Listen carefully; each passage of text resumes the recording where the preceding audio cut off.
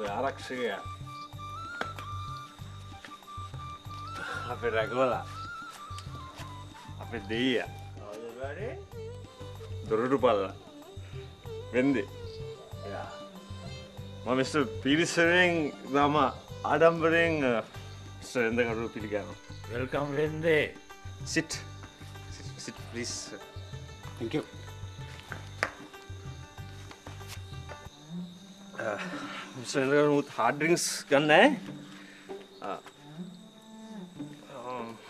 මකරි සොෆ්ටරිං එකක් ගන්න ගැන පිකි අපි මොකනේ Thank you, Ash. මං තේකක් බීපු ගමන් ආවේ. එනම් මිස්ට වෙන්දකඩුව ගිල්ලා පිකිත් එක කන්න මට බඩගින්නේ. ටිකක් මේ අයිෂ් ඔපුට හරිට වාඩිවෙන්න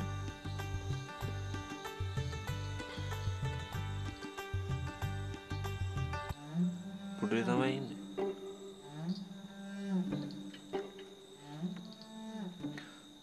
මම මිස්ට එඳකඩුවෙන් පට ප්‍රශ්නයක් කානත් අහන්. හැබයි මම කියලා මත්තක තරහ වෙන්නවත් සමට ගහන්ඩුවත් ලැස්සෙන්නවා හැබ මට මේ අහන්න ඕන මිස්ට එඳකරුයි නෑ නෑ එහෙම වෙන්නේ නෑ. අහන්න තියෙන දේ අහන්නකෝ.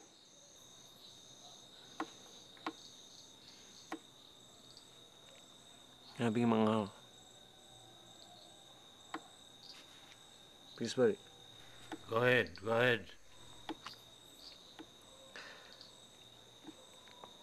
තැම් මමයි පින්කි අපි දෙන්න රණ්ඩු වෙනවා යාල් වෙනවා තරා වෙනවා ලව් කරනවා. පිරිස් පඩි ඩියෝසලත් වෛර කර කර එකම ගෙදර අවුරුදුව 17 years. දාහතක් ඒක මිට වෙදකඩු විතරක් මොකටද මේ තනිකර ජීවිතයක් ගත කරන්න? පරාති අයියා. අයියා ගියදේ ගියා අයියා. හ්ම්? අපි හොඳ තැනකින් බලලා ආයෙත් කසාදයක් කරගපු මල්ලි තාත්තා කෙනෙක් වුණ දවසක තේරෙයි. ඇයි මම ආයිත් කසාද නොමැද ඉන්නේ කියන එක. අනිත් එක මට මගේ ජීවිතේදී ආදරය කරන්න පුළුවන් එක ගෑණියෙකුට විතරයි.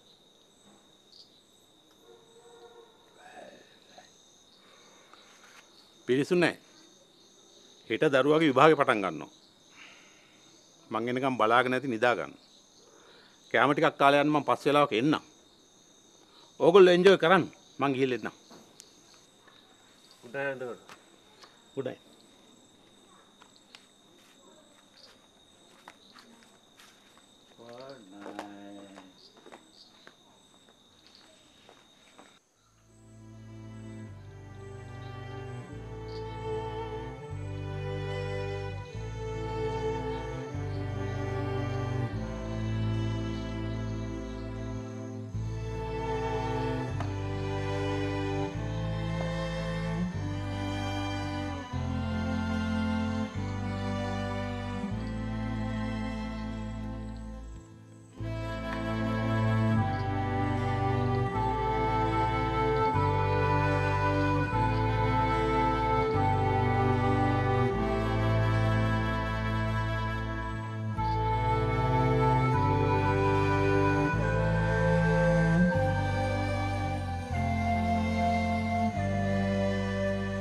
පුතේ එයි අම්මේ. මං පුතාට තේ එකක් හදාගෙන එන්නද? එපා අම්මේ. ඔව් සමාධි නෙදිද? ඔව්. මෙච්චර වෙලා විභාගය ගැන කියෝ කියෝ ඉඳලා දැන් තමයි නිදාගත්තේ.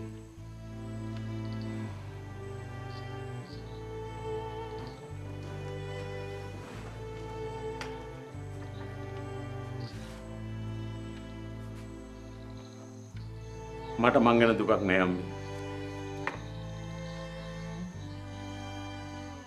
ඒත් මට මගේ දරුවා ගැන පුදුම වේදනාවක් තියෙනවා. අම්මත් ගිල නිදාගන්න. උදේ ඉඳලා වැඩ කළා මහන්සි ඇති.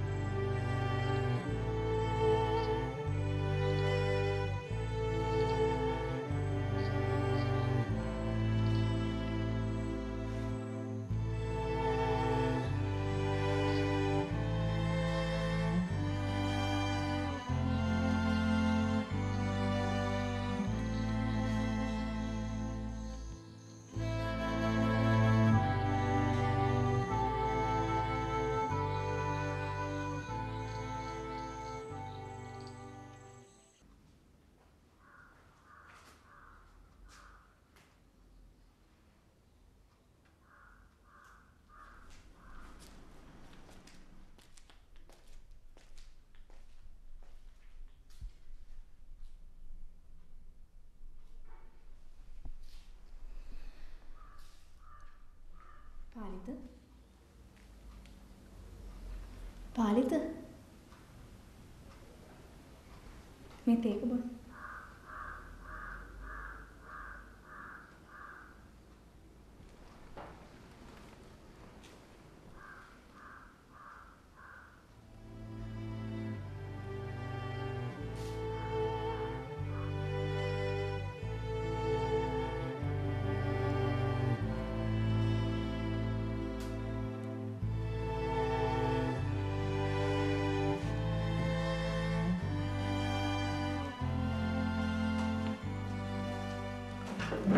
තුන්වගේ සන්නයි.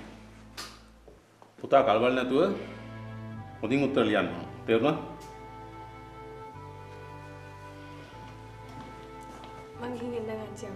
හොඳයි මත්තාට තුන්රන් සන්නයි. පුතාට දැන් බඩගිනි නැති වුණාට විභාග ශාලාවට ගියාපුවම බඩගිනි වෙයි. ඒ හින්දා විභාගේ පටන් ගන්න ඉස්සර වෙලා පාන් පෙති දෙක තුනක් කොහොම හරි කන්න බලන්න.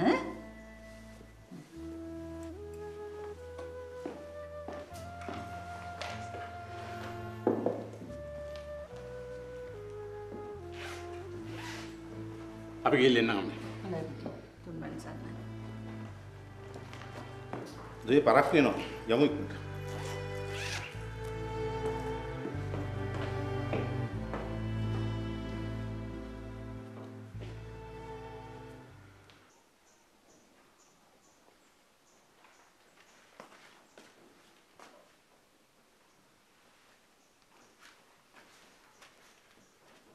මොකද?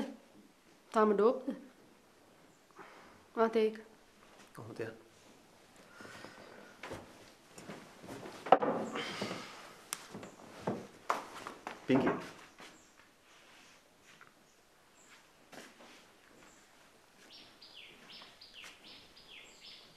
ඇයි අපි ඉක්මනටම දරුවෙක් හදන්නේ නැත්තේ?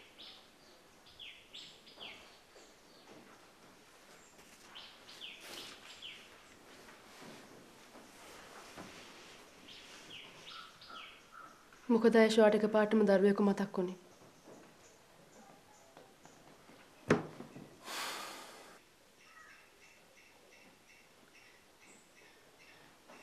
අයේෂ් දරුවෙක් ලැබෙනවා කියලා කියන්නේ ජීවිතේට අරමුණක් ලැබෙනවා කියන එක පිංකි.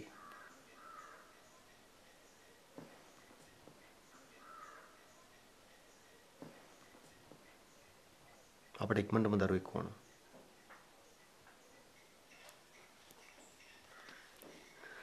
දරුවෙක් හදන්න නම් ඔයා ඊට වඩා වගකීමෙන් වැඩ කරන්න බලන්න. බලන්න වගව තාම අරක්කු ගඳයි. ඔහොම කොහොම දරුවා හදන්නේ? මේ මදර රස්සාවකුත් නැහැ.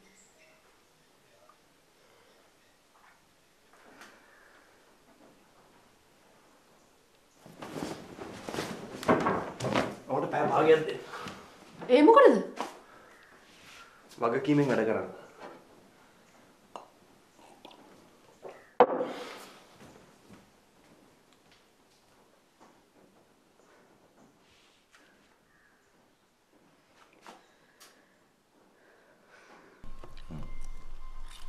පොඩ්ඩක් බලන්න පොඩ්ඩක්. පොඩ්ඩක් දාන්න. ඔය දේ දේ. ඒක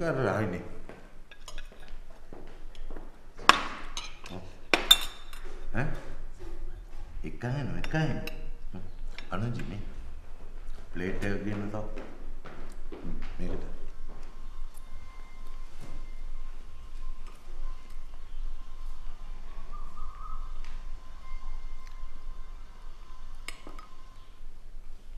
ගුඩ් මෝනින් සර්.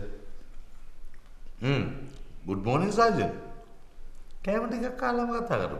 ඉඳ ගන්නු. කෑම කන්න තරංගම් මගේ හිතට පිරියක් නෑ සර්. මේ කුණු හරප කතා කරන්න තු ඉන්නවා සාජන්. කෑම ගන්න මොනවද පිරිය? කෑම දුටු කල අත නෑර කාපී කියලා තමයි මගේ දේශපාලන ගුරුවරයා මට උගන්වලා තියෙන්නේ. හ්ම්. ඉඳගන්න.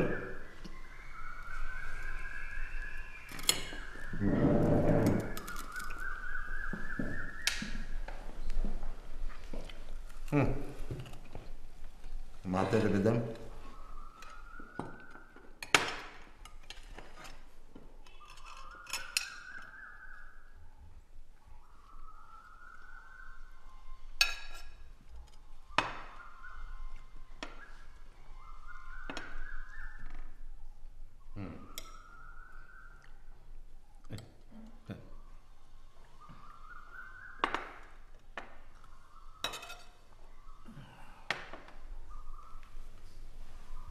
මොනවද උනේ සාජන්? වින්දයා මට විරුද්ධව විනය පරීක්ෂණයක් පවත්වන්න කියලා පොලිස් දෙපාර්තමේන්තුවට පැමිණිල්ලක් කරන්න යනවලු. ආ. ඉතින් සර්ට මට කියන්න බැරි වුණානේ. මීට දවස් දෙක තුනකට කලින් වෙන්දේ අපි ගෙදරටම ඇවිල්ලා මට තර්ජනය කරලා ගියා. මේ බල්ලාගේ බිරිල්ල ඇහෙනකොට මට කන එකත් එපා වෙනවා. මේ ඕන කෙලෙක් වෙද්දෙන් කියලා ලොක්කට කියලා මම ඔකව මාරු කරලා දාන්නද? අපෝ එපා සර්. වික්ටර් වෙන්දකඩුව කියන්නේ අපේ පොලිස් සේවයේ ඉන්න කීර්තිමත්ම නිලධාරියෙක්. නිකමට හරි සර් මිනිහව මාරු කරලා දැම්මොත් සර්ට මේ ප්‍රදේශයේ ඡන්ද ටික නැති වෙනවා විතරක් නෙමෙයි. සර්ගේ මුළු දේශපාලන ජීවිතේටම කනකොක හඬන්න ගනි. වෙන්දකඩුව කියන්නේ සාමාන්‍ය ජනතාව විතරක් නෙමෙයි මාධ්‍යවලත් හිත දිනාගෙන ඉන්න මිනිහෙක්. ඒක නිසා අපි කොහොම හරි මිනිහාගේ කීර්තිය නැති කරන්න ඕනේ. සාජන බෙදාගෙන කන්න කොයි තියෙන ඕනද? හ්ම්?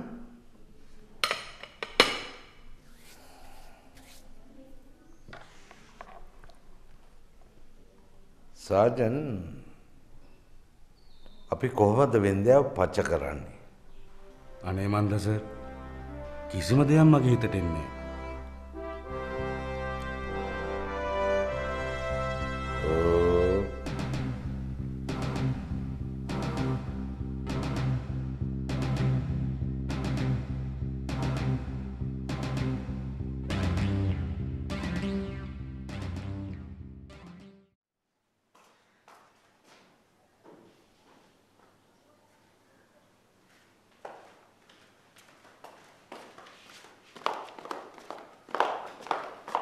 ඔයා කොහෙද යන්නේ? පරණ රස්සාවට. ඔයාට ඔක ආපහු කරන්න පුළුවන් දයේෂ්?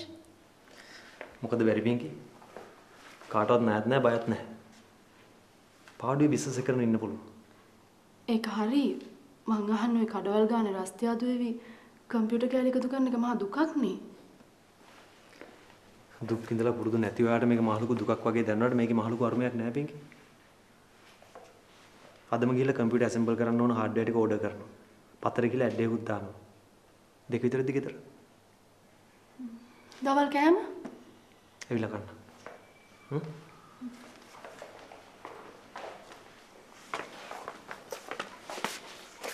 මං ගිහින් යනවා.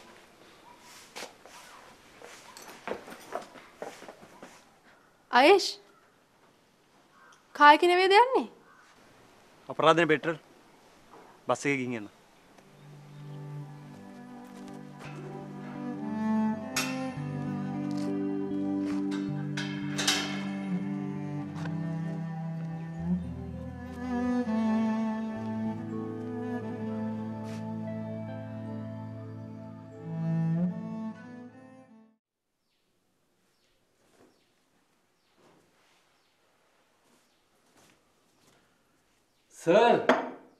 ගිහින් යන්න. සර් හොදටම එලි වෙලා තියෙන්නේ නැගිටින්න.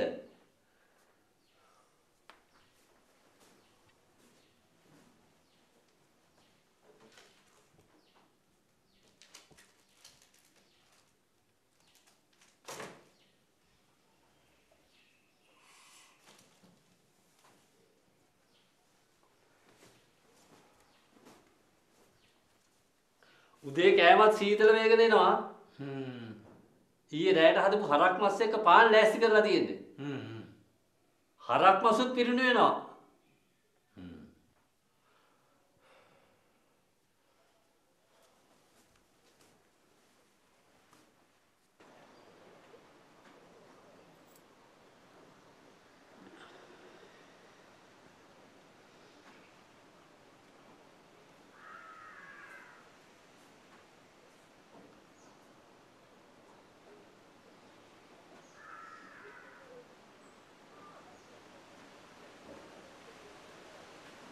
මැඩම් මොකද විල්බර්ට් සර්ට පොඩි ප්‍රශ්නයක් වාගේ. දස් ගණන් අය වෙලා ටීවී අරවා මේවා අරගෙන පාටි දැම්ම වගේ නෙවෙයි. ණය වෙච්ච ඒවා ගෙවෙන හැටි මතක් වෙනකොට ප්‍රශ්න ඇති වෙනවා තමයි. ඒ කාලේ ওই මිනිහා මොන ක්‍රමයකින් හරි හම්බ කරපු ඒවා කීය කීය හරි ඉතුරු කරා නම් අද ওই මනුස්සයට ওই විදිහට දුක් විඳින්න සිද්ධ වෙන්නේ නැහැ. මාත් ඔය ටිකම සර්ට කිව්වා. සර් කියනවා ඒ කාලේ කරේ ඒ කාලෙට ඕන දේ. දැන් මේ කාලේ කරන්නේ මේ කාලෙට ඕන විදිහට කීයක් හරි හම්බ කරගන්න ක්‍රමයක් ගැන. මැඩම් මේ සර් කියනවා ඉස්සරහින් කඩයක් දාගත්තොත් හොඳ ආදායමක් ගන්න පුළුවන් වෙයි කියලා. විල්බර්ට් උඹට පිස්සු හැදීගෙන එනවද?